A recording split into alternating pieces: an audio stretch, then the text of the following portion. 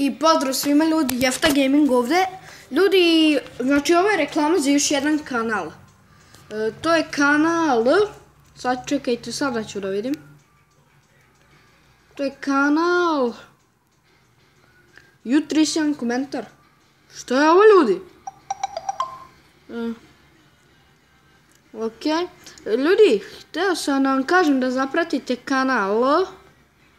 Kanal Clasher Man 123.